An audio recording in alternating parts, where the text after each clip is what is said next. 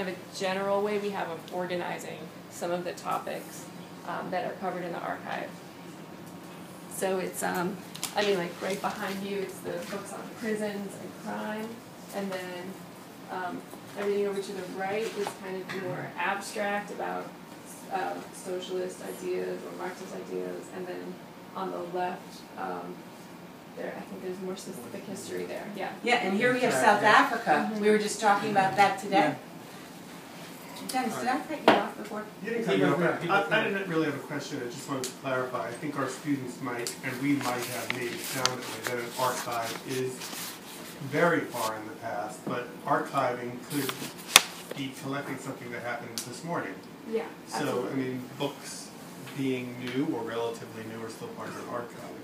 But I have two questions. Mhm. So one is, what should we expect to find in these boxes? Mhm. And two, we talked this morning about why we archive, so maybe you could clarify why this Mhm. archive collects Okay. this topic.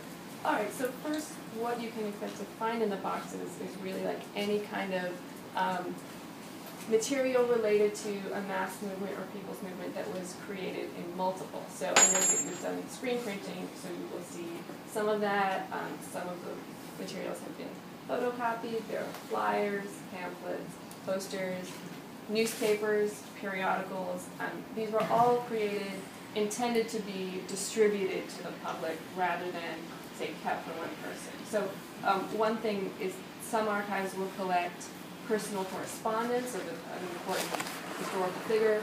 But we don't do that at all because we, we're not really interested in um, in things that might have been made for like a more private audience. Um, we're interested in ways of communicating with the public as a whole. Um, and as for your your second question is why we archive these materials. Um, well, I think that there is, you know, a real risk of this material being sort of lost to history because often major institutions um, either aren't interested or if they are interested, um, they are not interested in making it publicly available. And it might, you know, um, so MoMA has, you know, has collected um, material that's very similar to what we have here, but it's not accessible. Yeah. Um, and How would one of us come here? What, say, um, you know, Aviva decides she wants to do something and come to, to Interference Archive, what would you do? well, you, you're welcome to come. Um, And do you have open hours? Do Oh, we yeah. call you? we Do we write, go have online? open hours. So our, um, our hours are Thursdays from twelve to nine o'clock. Mhm. And then, um, Friday through Sunday from twelve to five. Um, we actually will be open fewer hours in August for summer vacation, but those are our, our regular hours. Right. Yeah. Is there an age limit? Sorry, I mean, under, down. There is no age limit in either. Okay. I just, I have a question. oh, sorry. Yes. What are the requirements for an object ending up in the archive, and how do you how do you select objects, and do you search specifically search for them? Do people bring them to your attention? Mhm. How what's your process like? Well, the, uh, the requirements are that it was produced as part of a mass movement or people's movement, and that it was, um, produced usually in multiple, but that it- its intention was to be publicly distributed. Um, also, we, when people, we do get donations, when people donate, we let them know that because the archive is, um, intended for use, we can't necessarily promise that we will preserve something in its um, pristine state. So we're gonna be letting people touch things, and you know things might get torn, or there's you know oil on your hands that can leave a mark. And our attitude is just like we accept that that might happen because it's more important um, to have it be available. As for how we get donations, um, people do approach us all the time, um, and I think two years ago, one year ago, there was an article in the New York Times, and after that, um, people just started contacting us saying they had things they wanted to donate. And actually, our exhibition, which you'll see later, is all about the donations we've received over the past two years. Oh, Oh, are you digitizing? Any of it? Not as of right now, but that is something that we want to do. I just have a quick question for you guys. I mean, just so that people kind of understand a little bit. Do you, you all who work here? So, you know, my understanding is that it's a volunteer Mhm. organization. I had mentioned that to them, so that maybe you could explain like how you came here or how Tanya, like how you guys ended up here. Because I'm curious, the people who work here and kind of keep this place going, you know, why?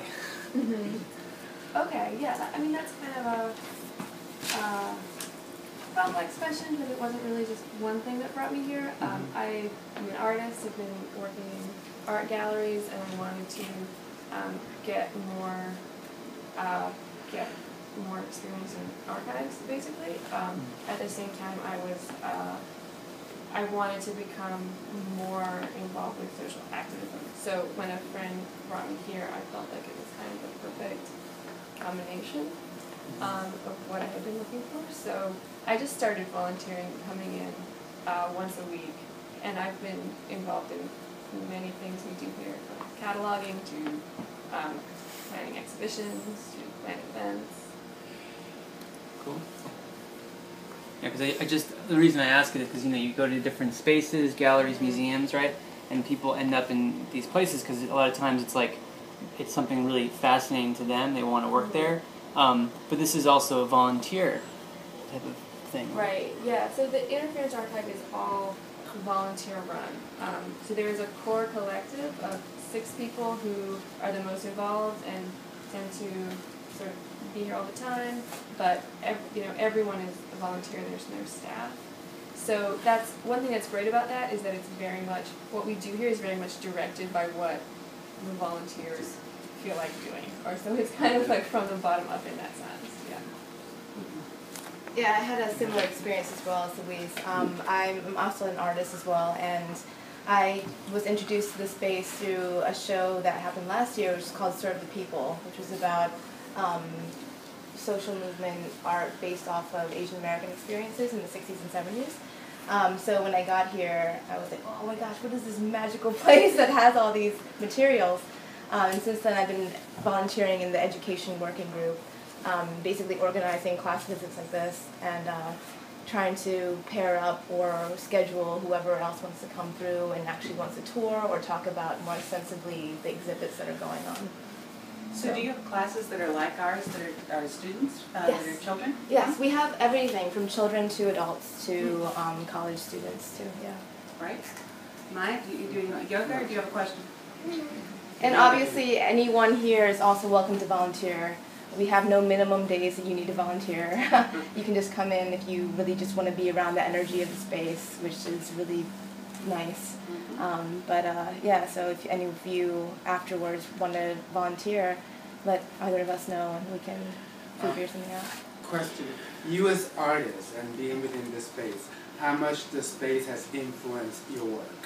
Can you talk what is it that you do as work? And if there's a connection, has there been a connection to yours?